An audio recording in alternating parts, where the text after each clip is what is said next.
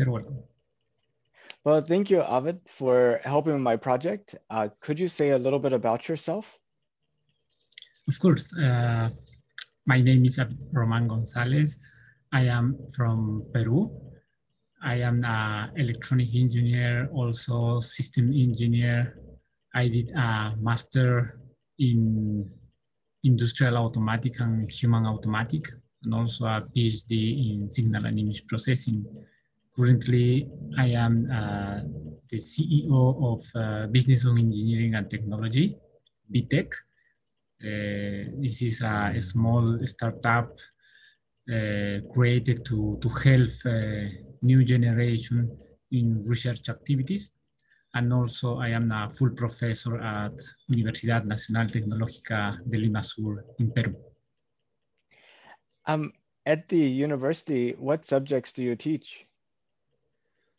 Uh, normally I teach uh, lesson for thesis redactions, uh, research uh, writing, and also satellite communications. And in Peru, are there many people that are interested in space exploration development, or is it a very small group? Yeah, it's a small group, but in last year the, the group is increasing. Yeah, mm, there are a lot of interest uh, in, especially in young professionals, to learn some uh, subject related to, to space. So uh, in 2013 in Peru, uh, one university launched uh, a small satellite. In 2014, also two other universities launch uh, nano satellite to, to space. So uh, there are people uh, interested in space technology. Also, many Peruvians, young professionals participated in Mars exploration simulations. And in Peru, we have our Peruvian Space Agency, and we have an air observation satellite and so uh, currently there are people uh, trying to explore how to use the satellite images for different applications.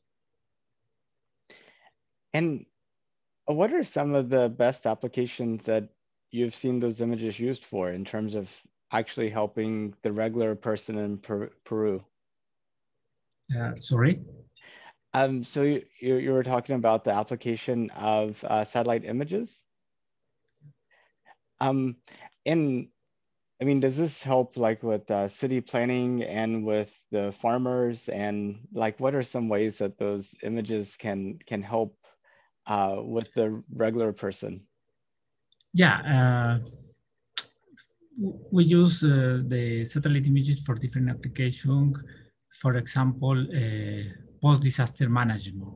So uh, in Peru, we have uh, different natural disaster like landslide, earthquake, floods, and we can use uh, satellite images to, to do a post-disaster management to help uh, decision makers to to identify the most affected areas, to identify the, the type of health to need bring to, to these uh, areas, to this population. Another application uh, is uh, in agriculture application for precision agriculture, precision uh, farming, helping to identify some problems or irrigation problems in, in the in the field uh, other applications are uh, to, to try to organize the, the growth of the urban areas. So to, to try to organize uh, a better growth of urban areas uh, and also application regarding uh, water monitoring, deforestation, uh, Amazon monitoring. So um, we have many applications. And you know, just coming back uh, to you and your career, uh, what got you interested in engineering? So uh, when I was child, uh, I saw in, in a TV the, the news about remember how to people go to the moon. So uh, when I was a child, uh, I was very interested to to do and to, to be involved in, in aerospace technology. So uh, I remember my, my dream was uh, I want to be an astronaut. so um,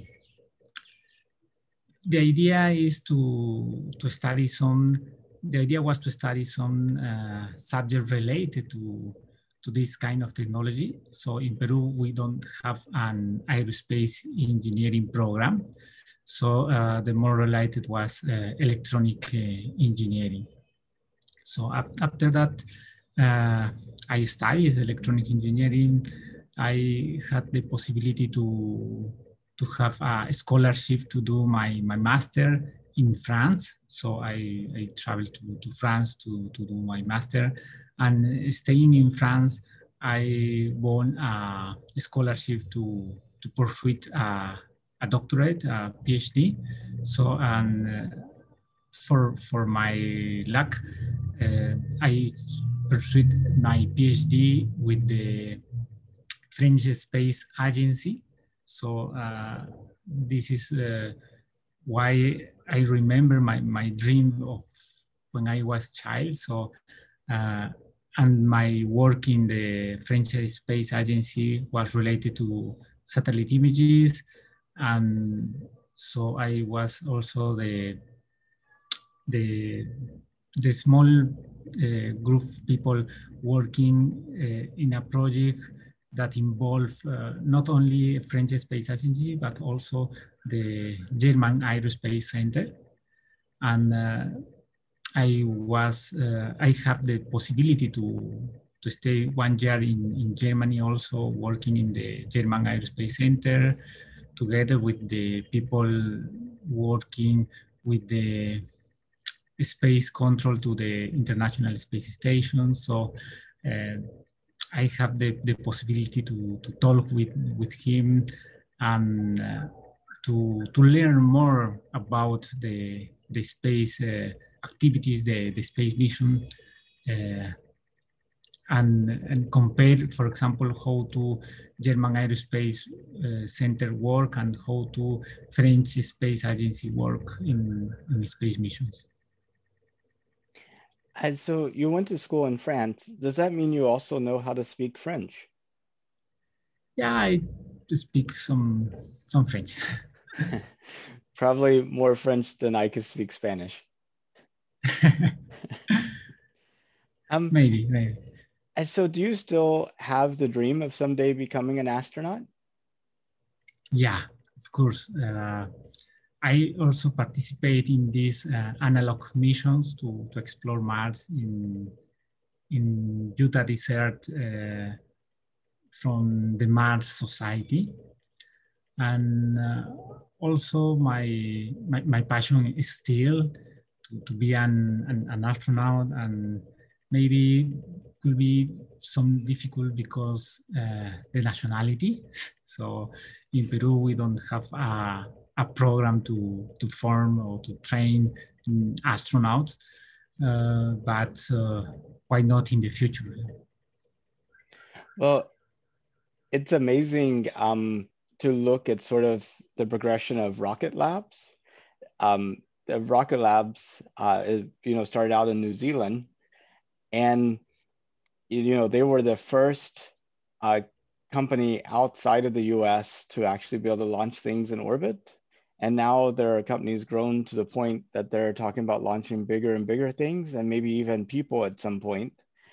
Uh, and my thought is, um, if such a country could happen in, as such a, a company can be created in New Zealand, you know, why not Peru? And I was wondering uh, what your thoughts were. Yeah, of course, of course. Uh, we have in Peru very a lot of people interested in, in aerospace development. So maybe step by step in the future could be possible. And um, did you know that NASA is planning to send people back to the moon in 2024? Yeah, I, I know the, the, the project that will be an interesting mission that uh, could put in, in the moon surface the, the first woman. Yeah. And uh, what do you think about it? I think uh, this is an important mission because it's uh, a step to to stay going ahead to discover new frontiers. So to to go, for example, I, I think to go to to Mars uh, with astronaut, we need uh, a first step uh, to to come back to the moon and maybe convert the, the moon in a small uh, space stations and after to, to go to the Mars or to go to, to other frontiers or to go to other planets. There's a lot of people that say, why are we sending people to the moon when we have uh, poverty and global climate change and pollution and social justice issues and all these issues uh, on Earth. Uh, what are your thoughts?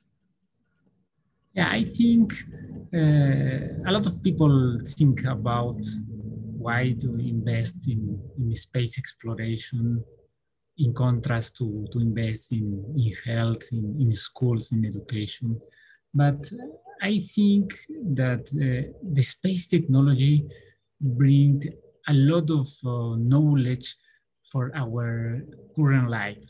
So uh, I think the, the population need to understand that the invest in space exploration is useful. For example, uh, all everybody have in her in her uh, smartphones the GPS but the GPS was developed for space, uh, space technology. So uh, currently we, we have or we use a lot of uh, technologies that uh, was developed first for space exploration. Also the telecommunication, also the, the material used by uh, people uh, to the to the fire of fire bomb that uh, was developed for the astronaut suites. So uh, also in the in the health uh, medicine, a lot of research developed in in the space. Uh, now we are currently use it in, in our current life. So uh, invest in, in space exploration is very useful and invest in this kind of mission to to go again to to the moon or go to, to Mars or to, to other uh, exoplanets, I, I, I, don't know, could bring a lot of technology that we can use in, in here in, in the air. That's a very good point. But also in addition to the technology, um, us going to the moon the first time inspired you and hopefully lots of other people to go into engineering and you're all solving problems here on earth making earth better yeah of course also the, the space technology is uh, for inspirations also to, to demonstrate the, the, the capacity of the, the humankind so uh, it, it's very important um, I don't know how familiar you are with the 1990s and the growth of the internet. Um, in 1990, almost nobody had email or access to the web. And in 2000, everybody pretty much had email and access to the web, at least in the US. And it was a very transformative time where things that weren't even imagined in 1990 became commonplace in 2000. And I feel like that the 2020s are going to be the same way to space exploration, that in 2030, there will be things that are happening on a daily basis, an hourly basis that we don't even imagine being possible now. Uh, and I, look at like SpaceX and their Starship development uh, and how that might open up space in an economical way like never before. And I was wondering, do you think the 2020s are really going to be um, as transformative uh, as that? Or do you think that may be a little bit too uh, optimistic? Yeah, uh, exactly. As you said, uh, in in the in the in the time we have uh, many technological changes. So for the space, I think uh, 2020 is, is important because uh, the participation of the private company. So normally uh, the space development was reserved only for the government, uh, the nation that uh, put the, the money to, to develop uh, all the missions. But now we have an important participation of the private company like SpaceX or, or other examples. So, and the participation of the private company is, is very important. So, and the participation of the private company could help to democratize the, the access to, to the space for all, all people, for, for different countries. So, and this is a, a change. So uh, I, I think the, the 2020s is, is a change uh, in the space development, uh, mainly due to the private company participations.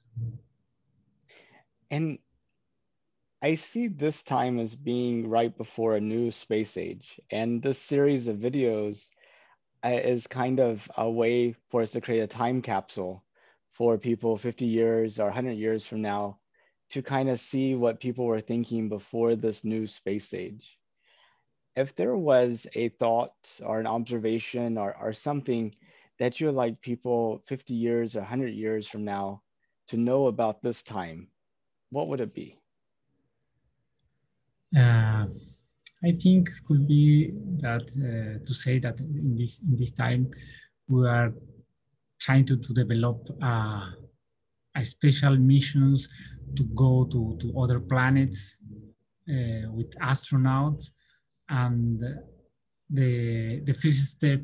So we we have uh, different missions that send uh, rovers or sondes to, to Mars, for example. But we don't have yet missions that can return from Mars. And this is a, a, important step if we are thinking to, to send astronauts to Mars. We need to, to think how to return astronauts from, from Mars. So uh, in, in this time, we are trying to, to, to do, to develop this kind of technology to, to return from uh, some samples from Mars. And after that, I think we can think about how to send and return astronauts from Mars or for other planets. So uh, in this time, we are looking this kind of technology. And I hope that the, the future in, in 50 uh, years, the, the people can talk about how easy or how difficult is bring something from Mars. Yeah, it's uh, it's kind of amazing how now we can travel around the world in less than a day, and uh, you know, hundred years ago that that capacity wasn't wasn't there, and they would have thought it was amazing to to see such a thing. Yeah, uh, the, the technology is uh, increasing rapidly. So you already said how to some years ago the internet is, is not here, so no, no people have an email. Uh, so in my case, for example, I was born in Sicuani. So Sicuani is a small city in, in Peru. So uh, when I studied my primary school or my secondary school, I don't know. Uh, I didn't know it's the internet, so I, I didn't have an, an email. And to study the, the university, uh, I must to, to move to, to a bigger city, uh, call it Cusco in Peru, to, to study electronic engineering. And so in Cusco is a, a bigger city than Sicuani, and in Cusco already start the, the internet, but I didn't know how to use uh, the internet, so was uh, a small shock for me how to to to know and to manage uh, uh this kind of technology because also how, at the university we had uh, uh, classmates so and they already know internet but me no so was a, a, a small shock but I think all changes at the beginning are are difficult, but the people can adapt to, to the technology changes and, and continue to, to, to develop new technologies. And yeah, it's, it's uh, amazing. I think I just like the transition from like the horse to the car and, uh, you know, from um, not having electrical power to electrical power and, you know, the automobile and all, all these things have had such a profound effect on society and the way we live.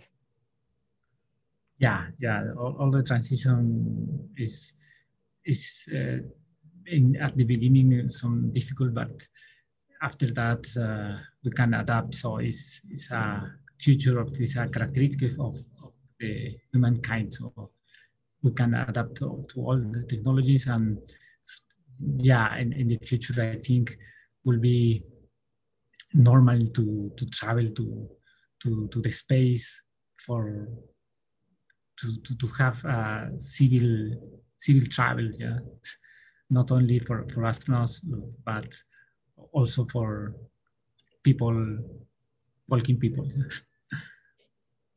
Absolutely. I, I know we talked about a lot, um, but is there anything that you wanted to talk about that we didn't get to? Uh, I am not sure, so we can talk about uh, what what you want. oh, well, I mean that's that's pretty much all I I had to talk about. But I was wondering if uh, you wanted to talk about any particular subject, or if you had some comments or questions or anything like that. Uh, from my side, I think an, an important uh, aspect uh, to talk maybe is uh, how to uh, motivate uh, new generations to, to study uh, some careers related to, to STEM, so to science, technology, or engineering, or math, because we need around the world more people related to, to these areas because uh, we need more uh, research activities. So for example, in, in this uh, emergency situation due to the COVID-19, uh, we have uh, the opportunity to know how research activities is important to try to develop a, a, vaccine, to try to develop a new test to, to detect COVID-19 or to develop a mechanical ventilator or other uh, medical instruments to, to help to, to combat to, to COVID-19. So I think uh, research it's, it's important. I, we need to, in the future, we need to have more uh, scientists, more research uh, and we need to to inspire the new generation to to try to, to study this kind of uh, careers or professional careers. And what do you think would be required to inspire them? What should be done? I think uh, we need to to do a dissemination of the results of the different research projects because uh, I, I, am a researcher, yeah, and normally the, we as researchers, we write articles, papers, research articles, research papers, and publish them to, uh, to communicate our results from our research project. But this kind of uh, research articles is oriented to technical people but we don't think about how to disseminate or how to uh, public our results thinking to the general public because uh, the, the, the word that we use is oriented to technical people, to, to people that will be understand the, the technical thing about our research, but, but we need to, to use also uh, colloquial words that can be understood by general public. So uh, we need to, to do this kind of uh, science communication activities for general public. And I think the research uh, not think about about that, and we need to to do this kind of, of, of activities also to to public our result, but for general public, not only for technical public. We we have um, kind of a a career uh, called science communicator somebody that actually studies the, the science and then figures out a way to make it accessible to the general public. And it sounds like what you're saying is we need more of those people that are uh, learning what the researchers are doing. They know how to talk to the everyday person without that technical knowledge. And they actually are, are taking that information and communicating in a way that that they can relate to and engage with and and that every sentence they're not looking up uh, every other word in a dictionary because uh, they don't know what that is. And then you have to go look up the words that you looked up because it's so uh, so different than what everyday people are are related to yeah and i, I think it's, it's very important work so uh, as you said may, uh, some some countries uh, there are already people that do the, the work of uh, science communicator, but uh, other countries don't have yet uh, a people like this. So we need to, to, to, to train people because also it is necessary to, to train more people to do this kind of, of activities. So it's a, I think it's a, a new a new work because before we didn't have this this kind of science communicator, but uh, we need to to to have uh, training. I don't know courses or lessons, uh, a master degrees or or something like this to to prepare to to train new people to to do this kind of jobs of uh, science communicator.